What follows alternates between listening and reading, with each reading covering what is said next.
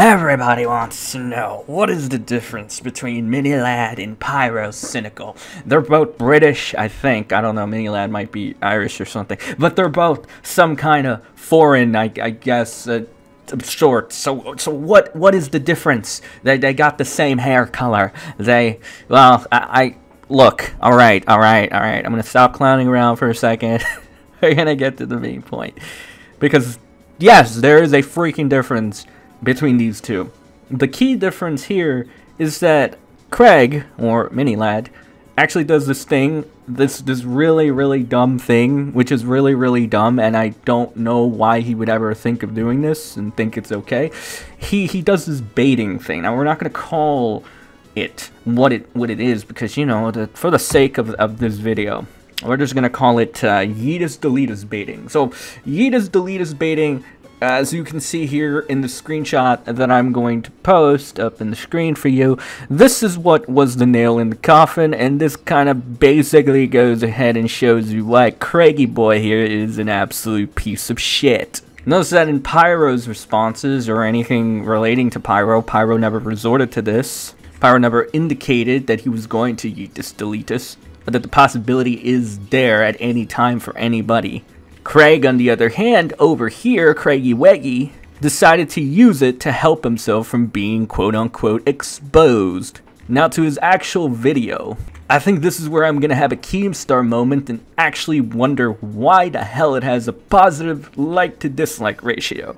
It just goes to show you not everything is how it seems, although I do have a theory as to why this is, and so did my cute little pup Augie. Most of the people watching the Mini Ladd videos are just kids and they don't really care about this stuff. And Craig is basically manipulating them here, pulling the whole I'm sorry I will be better trick and how he wants the best for his friends. This, however, completely contradicts his demeanor in this screenshot released by a YouTuber named Cabos.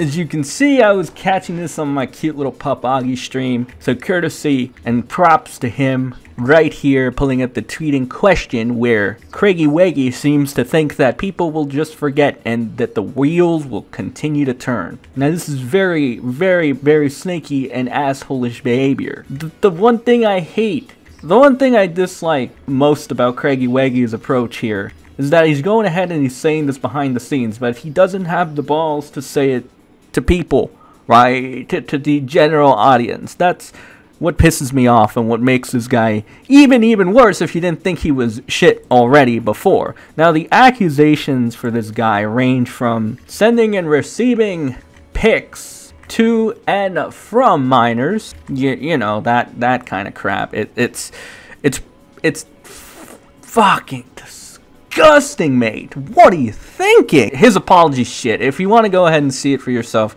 you go go ahead and see it.